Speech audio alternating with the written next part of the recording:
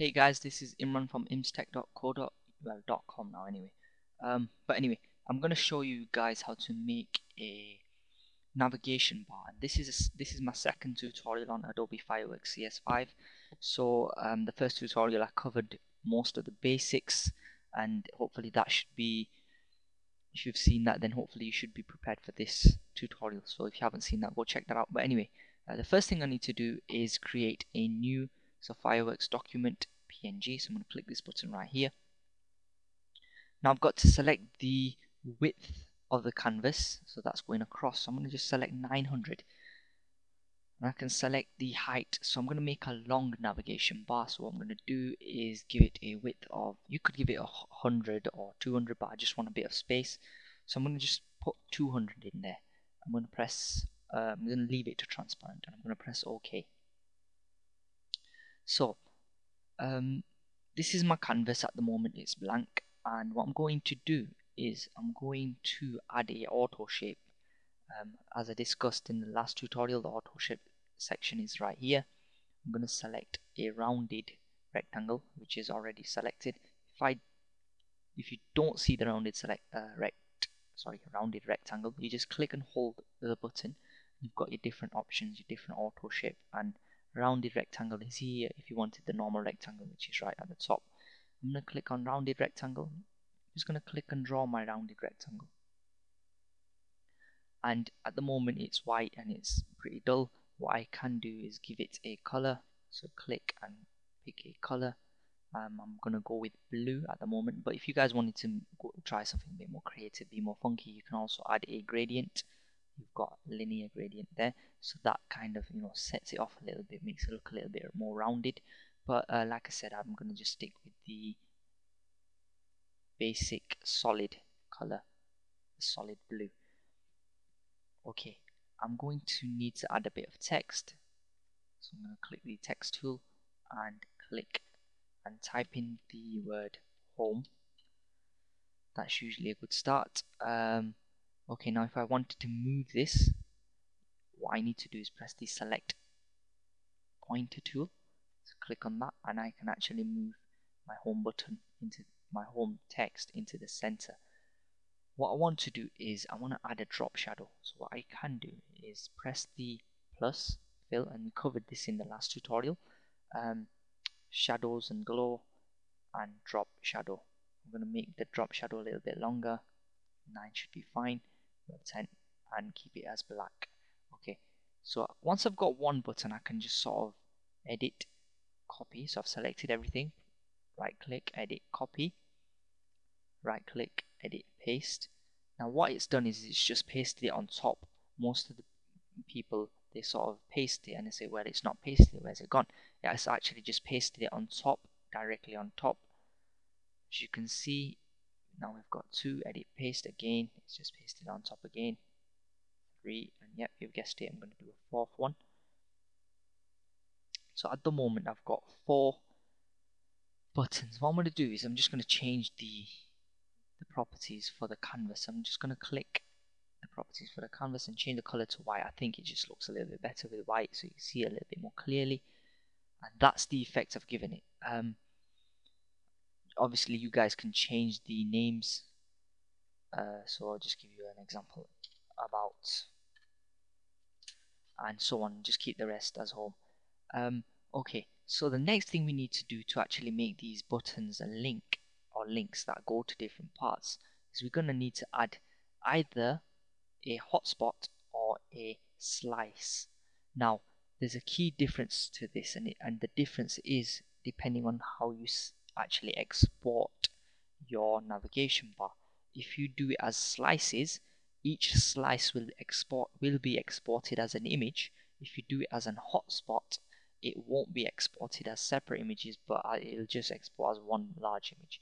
But I prefer to use slices, but I'm going to show you guys both in a second. So the first thing I'm going to do is press the slice, and I'm going to just slice my first button you could copy and paste these slices but I'm just going to just draw out my slices. As you can see well you might be able to see the top of my other buttons has been sort of cut off. Um, what you can do is at the moment I can't actually select what's behind it. Now to actually hide my slices there's this button right here which is hide slice or hotspots so if I click it hides them. If I want to bring it back press that. What I'm going to do is I'm just going to highlight everything and I'm going to go to the align button right here align panel I should say and I'm just going to see if I can do a distribute top edge. So the highest actually I'll distribute bottom edge and the lowest most point they all just align at the bottom.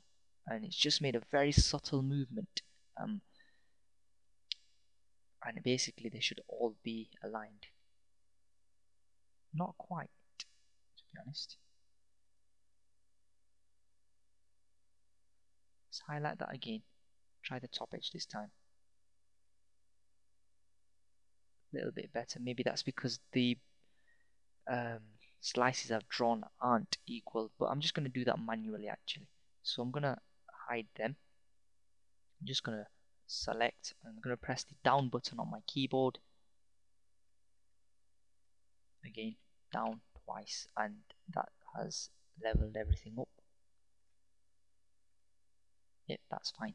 Okay now to actually add a drop down menu um, what I can do is right click a slice and press the add pop-up menu I'm going to press that button right here. Now this most of the time works but occasionally it doesn't for some reason.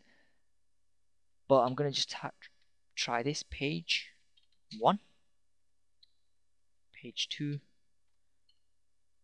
obviously you guys will give it a appropriate name. Um, give it a link. So this is where it goes. So I'm just going to type in page 1.html I'm going to leave no spaces actually. So page 1.html um, not going to do the second one because you guys get the general idea. To add another one add another uh, drop down button. You press the add menu and to remove you press the minus. I'm going to press next and what that basically does is just changes swaps tabs.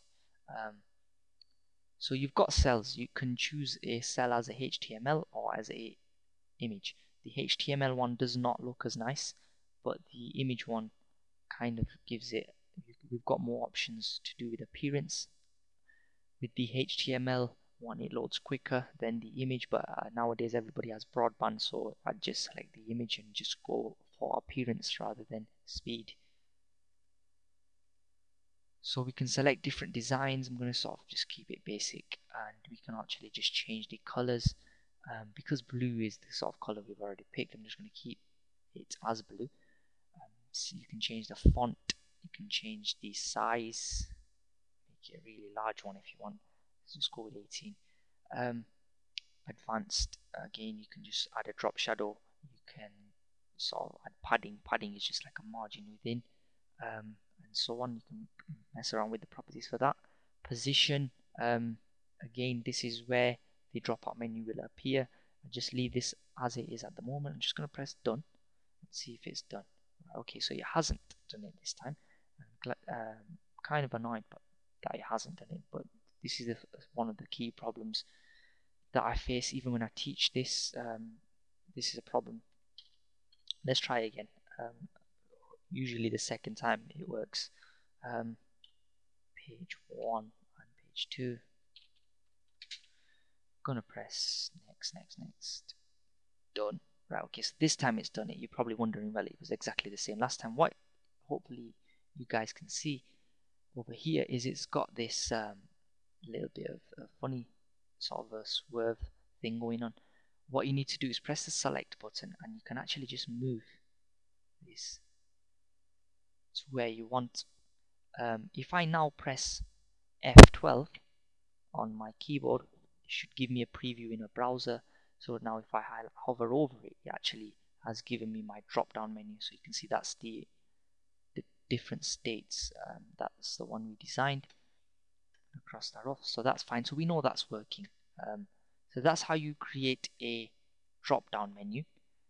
To add links, say you didn't want um, a drop down menu but you just wanted these buttons to be clickable what you do is you click on the slice and then you can just type in your link. So this could be a link to an external site. This could be a link to some something within the website. So I'm just going to type in about dot html and that's fine. Um, what I'll do is just show you guys the hotspot and that is pretty similar which is this one. This is the hotspot. I'm just going to draw a hotspot image hotspot. And basically it's, it's just the same pretty much. Um, it's just uh, makes a difference on how it's exported I'll show you guys that in a second. Um, again you can just type in I'll just type in hotspot just for the sake of it hot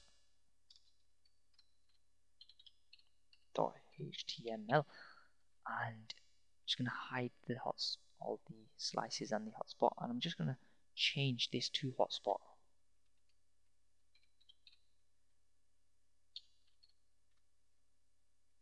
just to show you guys.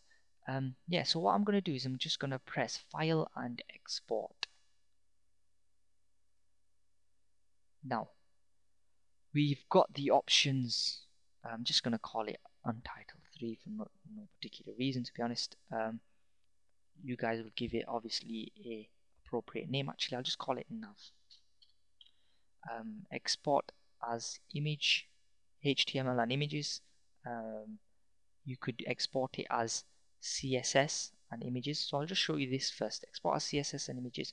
And I'm just going to press save and I'm just going to plonk it on my desktop. Yeah it's giving me some sort of warning. So you guys can see what it's actually drawn up. I'm just going to move these icons. What it's done right? This is the CSS page.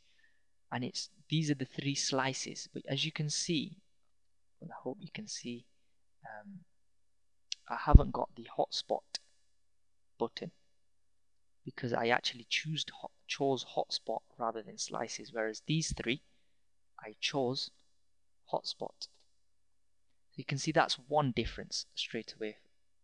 If I click on the navigate the actual HTML you can see hotspot looks a little bit different compared to the others. Yeah? Um, but so I'll just dump that in the bin the way I would export these and the way I recommend you export this is you press file export. You select HTML and images and then you actually do it as a HTML file. And nav.html I'm going to press save. Let's see. So okay straight away we've got a lot more um, stuff that is sort of generated obviously ideally you'd want to put that in a file or a folder. So I'm just gonna click oops didn't intend to do that but okay. We can see the CSS that is generated basically uh, loads of divs. Um, just gonna press the navigation button. So we can see it in the browser. So you can see hotspot is the same and we've also got our navigation uh, drop down menu working. So that was just basic on how to create a navigation bar. I'm sure you guys will create much more, uh, be more creative with your navigation bars. But basically, as you guys can see, uh, we I demonstrated how showed, showed you guys how to create a hotspot, um, a slice. You got to see the differences between the hotspot and the slices, and you also got to see how how I created a drop down menu. Just to recap on that, um, drop down menu you right click and you press add navigation bar. Sorry. Oops. Drop, you press add pop-up menu. Um, and if it doesn't work the second first time try it again. Hopefully it should do it. Um, yeah so take care. Uh, comment on the video. Leave me some feedback if you want.